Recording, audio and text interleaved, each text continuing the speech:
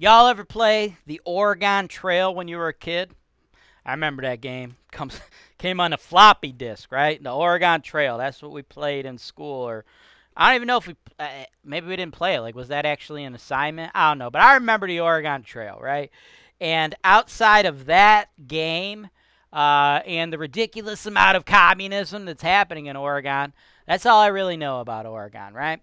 And you know what I get now? I get a lot of investors who are sick of the games going on in Oregon, sick of the games that involve the politicians giving away their rights, buying votes from fucking angry mobs, buying votes from angry mobs. And you know what they're buying those votes with? The rights of property owners, okay? So what are these property owners who are stuck in this Oregon trap to do, right? Their their livelihoods are being ruined because their business of renting out their properties is being destroyed because their rights are being taken away, right? Well, a lot of them are divesting, okay? They're divesting in those areas and reinvesting in rental properties where they still have rights, right? We're talking red states, baby. And you know what? I sold $200 million worth of investment properties in red states, okay? And I'm here to help those investors. And we're going to go over a solid cash flow deal that a lot of out of state investors probably would have no idea how to find because they're overlooking it. That's what you partner with somebody like me for. Let's jump into it. This is your show. This is the show where I work for you directly, taking your needs I'm going through the MLS and I'm trying to find the best possible deal for you guys. Put down 25%. That's the perfect way to buy this. That's why real estate investing is the greatest industry in the world. Welcome to the show, folks. My name is James Wise. This is Holton Wise TV. Please stick around if you like what you see today. Today, baby, we're working with my dude Mike from Oregon. Mike, have you ever played Oregon Trail? I want to know. Also, to my understanding, I pronounced the state Oregon incorrectly. I only know this because I made a video. We're going to pop the thumbnail up right here. That's me with Karl Marx on my on my head, right? That's my body with Karl Marx on there. And I yeah, I made fun of all the socialist assholes in California and all those communist maniacs. And uh, that video is doing very well, right? A lot of views on that one. And a lot of people from Oregon are kind of upset by what I said in that video. But the weird thing is, they're not actually upset about any of the derogatory things I said. They're just really pissed off that I pronounce Oregon incorrectly. My bad, bro. That's this is how I fucking say it. Sorry. I'm fucking sorry. Right? But why are we focusing on how I pronounce that shit? Why don't we be focusing on how the fucking politicians over there are fucking kicking property owners right in their fucking dicks? That's what we should be focusing on.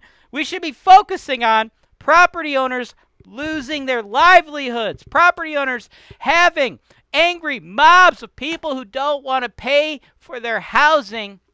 They're buying those people's votes with your rights, your hardworking people, and I'm going to help you put an end to it, right? And that's what I'm doing for Mike. Mike has came to me to invest in Ohio, a red state, a state where you still have rights as a property owner. And I will handle everything on the ground for you, Mike. Property management, maintenance, construction. Over 200 million in sales in this market. I know what I'm doing. But here's the thing. You came to me because people always talk about Cleveland. The Cleveland market's the best cash flow market. Cleveland this, Cleveland that. Cleveland market's a great market. Cleveland City, small small city in comparison to the overall market. Overall market much bigger than the city, right? So if you look at it from far away, from thousands of miles away from Oregon, you think it's all the same. It's not. That's why you hooked up with me because I show you the neighborhoods where it makes the most sense to make the moves, right? There's some neighborhoods that you have more power as a landlord. There's some neighborhoods, there's some cities in this market where you have more control. There's some cities in this market where you're getting better pricing, higher returns, and that's what I do, right? So the property I've identified for you today, Mike, it's not in Cleveland. It's in a little place called Elyria that I can almost guarantee you've never heard of unless you watch my show.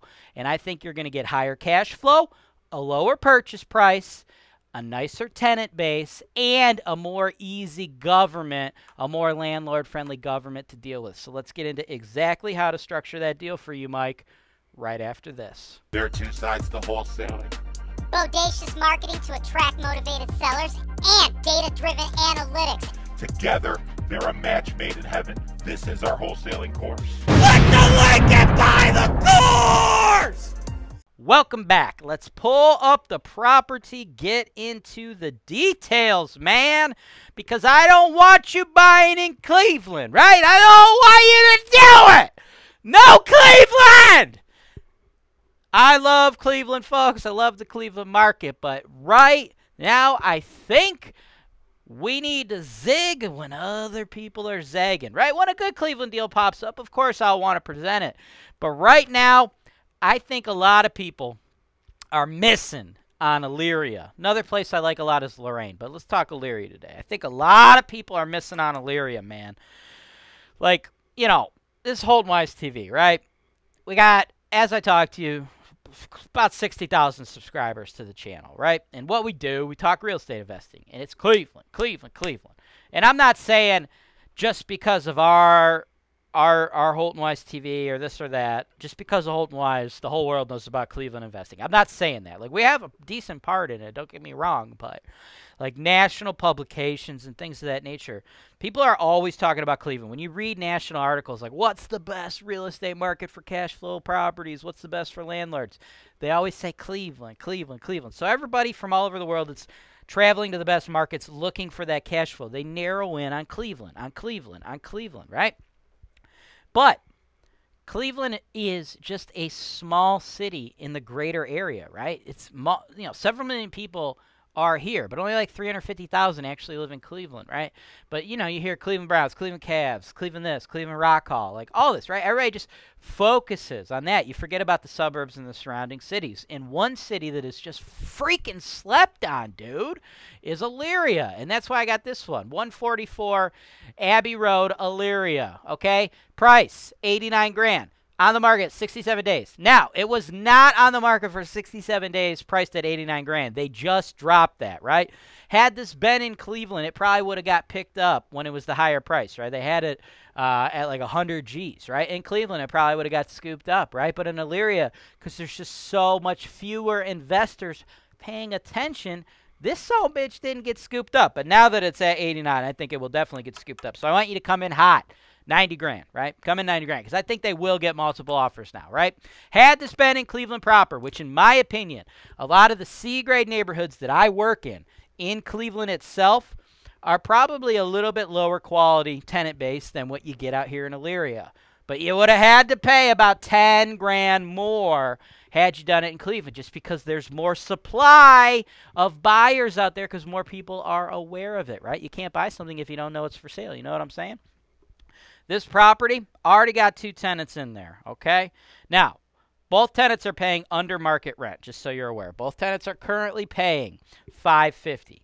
We will want to slowly increase their rents up to market rate. We don't want to cause them to move out by immediately going to market rate, which is 750 a unit. So when we get it up to market, 15 hundo comes in, 18k for the year, right? We don't just immediately go uh, with a huge $200 increase because that'll cause them to move out. Then we got to like repaint their unit. Like everything looks good in these units right now, right? But there's a lot of carpet in these units, man. When we move those beds, those couches, things of that nature, like is there going to be like a spot where the couch was where it's like just like a shade lighter than the rest? If that's the case, we're going to have to replace it, of course, right? So you want to avoid unnecessary turnovers, but we should be able to just slowly get them up, right? But that's what you should focus on the long term cash flow of this property, right? So 15 hundo comes in you should spend approximately 830 having my team manage it completely passive, right? That's approximately 8029 a year, right? If you pay 90, you only got to put down 22 and a half, man. That's it. 22 and a half. $22,500. Bank kicks in the under 67. Long-term projections here, 21% cash on cash return, man. On top of that, Elyria, in my opinion, another reason you should focus on Elyria, because, hey, we're zagging, other people are zagging.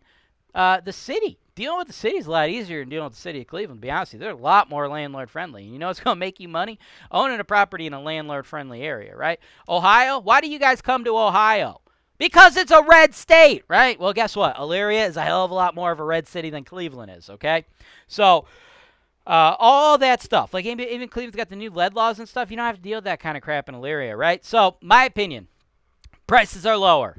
Tenant base a little bit better, and city a little bit more landlord friendly. For all those reasons, I think Elyria, Elyria is the hot spot, right? So, now that they've dropped us down to 89, I think now we come in aggressive, 90k, and I think it's a banger of a deal. Thanks for watching. Subscribe to Holton Wise TV for more financial information, education, and entertainment.